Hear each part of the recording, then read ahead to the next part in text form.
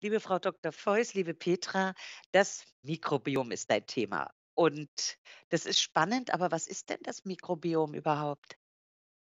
Ja, das sind die ähm, eine Trillion Mikroorganismen und da zählen nicht nur Bakterien, sondern auch Viren, Pilze, ähm, andere Ur Kleintierchen ähm, zu, die in einem Lebewesen, das man dann Habitat nennt, leben ähm, sowohl im Magen-Darm-Trakt als auch in der Scheide, in, ähm, auf der Haut. Also da gibt es vielfältige Gebiete, wahrscheinlich auch in der Brust. Ja, da, auch dazu läuft jetzt Forschung, welche Mikroorganismen in der Brust leben, ob das bei Frauen mit Brustkrebs eine Veränderung ähm, abbildbar ist und so.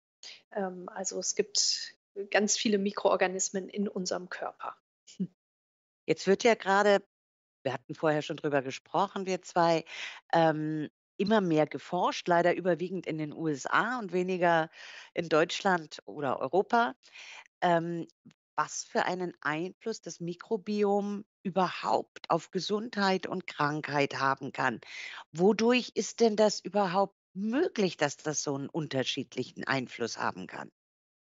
Hm, na ja, die die Mikroorganismen stellen eben auch bei der Verstoffwechslung unserer Ernährung also, wir füttern die, ne? Wir sind im Prinzip sind wir eine Wohngemeinschaft und wir füttern die Mikroorganismen und je nachdem, wie wir die füttern, stellen die eben Stoffe her, die sich günstig auf die Gesundheit auswirken oder auch ungünstig. Und, ähm, man man weiß, dass zum Beispiel auch mit Autoimmunerkrankungen oder mit Multiple Sklerose oder Autismus gibt es bestimmte Mikrobiomveränderungen. Also es, es hat wirklich einen vielfältigen Einfluss. Oder wenn man, man kann Mäuse züchten, die keine Keime im Magen-Darm-Trakt vorhalten. Und wenn man so einer keimfreien Maus ähm, den Stuhl von einem Patienten gibt, der ein Reizdarmsyndrom mit Ängsten hat, dann entwickelt die Maus auch ein ängstliches Verhalten. Und wenn man der Maus Stuhl von, also der keimfreien Maus Stuhl von einem Patienten gibt, der ein Reizdarmsyndrom mit depressiven Symptomen hat, entwickelt die auch eher depressive Symptome, sodass wir wissen, da sind ganz vielfältige Einflussmöglichkeiten, bestimmt mehr als uns lieb sind auf eine Art. Und ähm, die Forschung, äh, ja, die ist noch in den Kinderschuhen. Die Quintessenz für die Klinik, die ist noch gering. Wenn ich jetzt, sagen wir mal, versuchen möchte, ein möglichst gesundes Mikrobiom in mir selbst zu schaffen, was muss ich denn dafür tun? Also da ist auf jeden Fall die ballaststoffreiche Kost wichtig, die aber unbedingt gerade während onkologischer Therapien verträglich sein sollte. Ähm, Forscher, die zu Mikrobiom forschen, es gibt eine Forscherin, die ganz viel forscht, das ist die Frau Professor Zittvogel in Frankreich. Aber die, die sagen, man sollte 25 verschiedene ballaststoffreiche Lebensmittel pro Woche zuführen. Und neben dem, dass sie man ballaststoffreich essen sollte, ist es auch ganz wichtig, abwechslungsreich zu essen. Sprich, ähm, wirklich saisonal auch zu essen und den Speiseplan zu verändern und nicht immer das Gleiche auf dem Speiseplan stehen zu haben.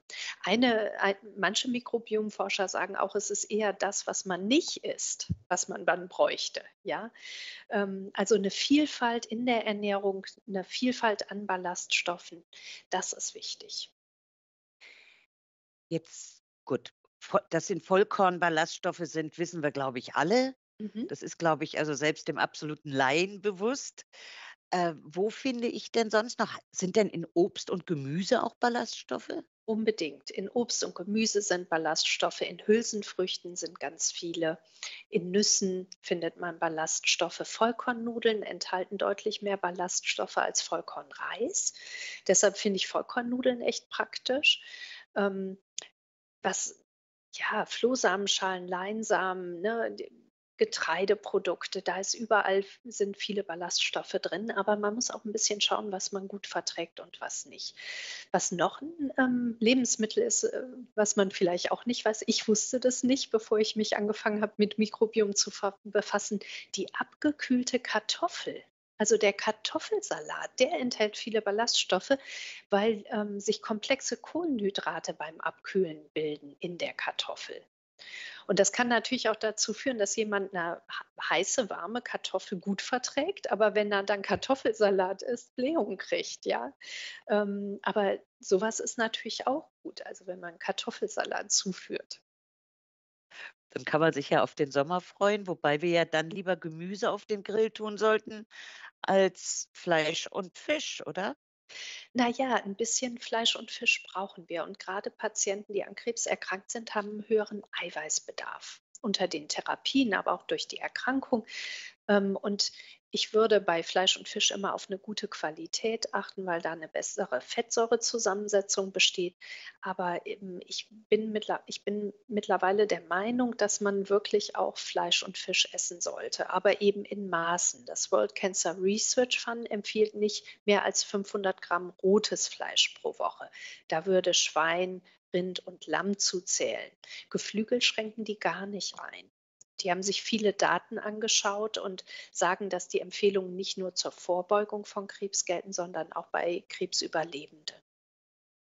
Wobei ja das, sagen wir mal, Einschränken oder Vermeiden von rotem Fleisch ja auch für Herz-Kreislauf-Erkrankungen sehr positiv sich auswirkt, oder? Ja. Ja, unbedingt. Also es ist auf jeden Fall sinnvoll, sich an diese Empfehlung vom World Cancer Research Fund zu halten und nicht mehr als 500 Gramm pro Woche von rotem Fleisch zu essen. Unbedingt. Auch für Herz-Kreislauf, für die Gesundheit allgemein. Wenn ich jetzt versuche, mich da so ein bisschen gesünder zu ernähren, das wird ja man wird es ja nicht schaffen, von einem Tag auf den anderen alle Gewohnheiten Mhm. umzustellen. Äh, welchen Platz hat denn haben denn zuckerhaltige Nahrungsmittel da drin? Na ja, ganz oft, ähm, sind die Nahrungsmittel, die sehr zuckerhaltig sind, jetzt industriell hergestellt, auch mit chemischen Stoffen noch versetzt. Und die sind fürs Mikrobiom nicht gut. Unser Mikrobiom ist adaptiert an die Ernährung wie vor 200, 300 Jahren, als es die ganze Industrialisierung noch nicht gab. Also Süßstoffe wirken sich ungünstig aus, Emulgatoren wahrscheinlich auch. Je weniger Chemie in der Ernährung, desto besser. Das ist auf jeden Fall so. Und was jetzt ähm, der glykämische Index oder ja, Zucker es heißt ja immer, Zucker füttert Krebs. Ne? Es ist so, schon so, dass schnell resorbierbare Kohlenhydrate, wie Süßigkeiten wegen mir, ja, die scheinen sich schon ungünstig auszuwirken, wenn, insbesondere wenn jemand, bei jemandem Metastasen vorliegen, ne? weil die Insulin und insulinähnliches Hormon ansteigen lassen. Ähm, wenn man jetzt aber zum Beispiel abgekühlte Kartoffeln isst, ja, dann würde ich mir wegen der Kohlenhydrate da drin überhaupt keinen Stress machen, ne? Oder Vollkornnudeln, ja. Die ketogene Diät, die häuf häufiger propagiert wird, die hat sich in Studien nicht bewährt und von der würde ich auch abraten, zumal wir da auch wieder eine Einschränkung der Vielfalt der Ernährung haben. Das Obst wird fast ganz weggelassen und das ist ja, da sind auch Ballaststoffe drin und viele Vitamine und Spurenelemente. Sowas, davon würde ich echt abraten. Und viele Patienten nehmen ab unter ketogener Diät, was in manchen Situationen echt ungünstig ist, ja. Äh, da möchte ich jetzt gleich drauf einsteigen. Da ist ja auch in der ketogenen Ernährung wird ja sehr viel mit Fett gearbeitet, fettreicher Nahrung. Und genau das ist ja wohl nicht gut für das Mikrobiom, oder? Genau so, genau so. Also bin ich absolut auch der Meinung, man hat eine Einschränkung, man hat mehr Eiweiß und mehr Fette und dann in hohen Mengen. Ähm, und meines Erachtens sind die komplexen Kohlenhydrate, nämlich die Ballaststoffe oder komplexe Kohlenhydrate gehören ja auch zu den Ballaststoffen, die sind so wichtig. Ja, deshalb, ähm, halte ich von der ketogenen Diät nicht viel. Jetzt möchte ich doch noch mal auf Süßes zurückkommen. Mhm. Jetzt gibt es ja doch viele Menschen, sagen wir mal, die ein Süßschnabel sind, wenn wir das mal so nennen wollen. Und wenn die sich jetzt umstellen wollen, ist es dann besser, sagen wir mal, in kurzer wenn ich jetzt gar nicht ohne auskomme und so einen Heißhunger habe, ist es dann besser ein kleines Stück und das ganz oft oder lieber auf einmal, dass es dann erst mal wieder für eine Weile reicht? Also, ich finde, das ist ja auch das Thema Genuss, Renate, ne? Und ich finde das so wichtig, dass man sich auch ein bisschen Genuss gönnt, weil sonst ähm, Ernährung muss und darf auch Spaß machen. Ich würde sagen, es ist wichtig, dass 90% oder 80% stimmen. Ja, aber man äh, sich da ein bisschen Genuss auch zu schenken, halte ich für ganz wichtig. Ob das jetzt besser ist, eine Tafel zu essen und, ähm, dann ein paar Tage nicht. Ich glaube, das kriegt man gar nicht hin, ne? Wenn man einen Tag eine Tafel isst, am nächsten dann gar nichts zu essen, ist ganz schwierig möglicherweise. Aber da tickt auch jeder anders. Nur, ähm, auch gerade in einer äh, chronischen Erkrankungssituation, wenn man sich da sämtlichen Genuss verweigert, ne, dann kommt man nachher vielleicht auch in 'ne Appetitlosigkeit, weil man keine Freude mehr am Essen hat. Das wäre ganz schlimm.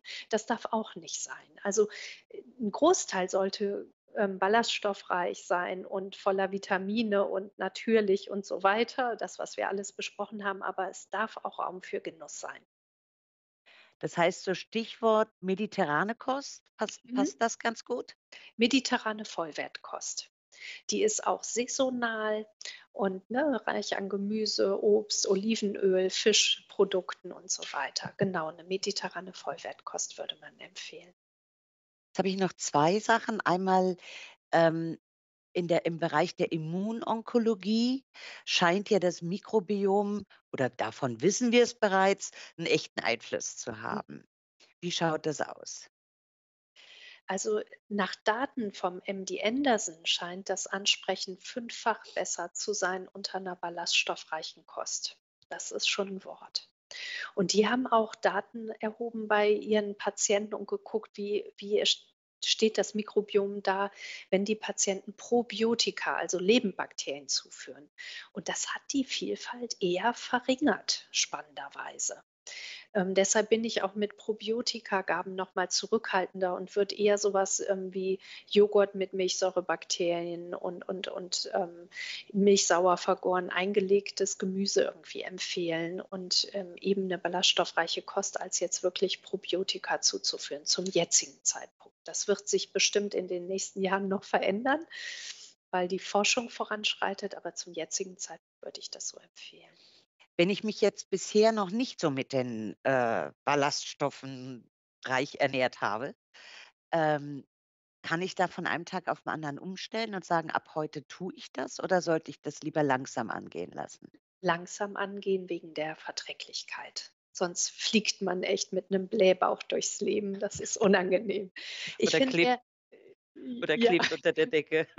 genau. Oder auf der Toilette sitzt man fest. Auch das könnte passieren. Ähm, wer da ganz tolle Empfehlungen hat, ist das American Institute for Cancer Research. Die haben, äh, tolle Rezepte, die haben Fotos von so Tellern, e eher mit Western Style, wie's, äh, oft üblich ist. Dann so 'n Mittelding-Teller, der überleitet in so 'ne ballaststoffreiche Ernährung. Und dann haben die Fotos von Tellern, wo 'ne ballaststoffreiche Ernährung drauf ist und haben auch viele Rezepte. Natürlich auf Englisch, aber tolle Rezepte. In USA gibt es auch, ähm, vom American Cancer Institute tolle Kochbücher, ja, für Patienten, die onkologisch erkrankt sind mit bestimmten Symptomen. Ähm, da da finde ich, brauchen wir hier in Deutschland noch was, wenn ich ehrlich bin. Also, ich oder ich kenne wir haben ähm, es gibt bei Natur und Medizin ein, ähm, Vollwertkochbuch, 'n kleines, was auch nicht so teuer ist zu Vollwerternährung bei, ähm, Patienten mit Krebs. Und es gibt da sicher auch Bücher, aber so 'n richtig schönes, ähm, Rezeptbuch wie in USA, ähm, da könnten wir noch dran arbeiten. Na ja, dann schauen wir mal, vielleicht klappt das ja. Ja. Ähm, jetzt noch einmal, weil du die Flohsamen erwähnt hast und Leinsamen. Ähm, wenn ich die integrieren möchte in meinen Ernährungsplan, worauf muss ich achten?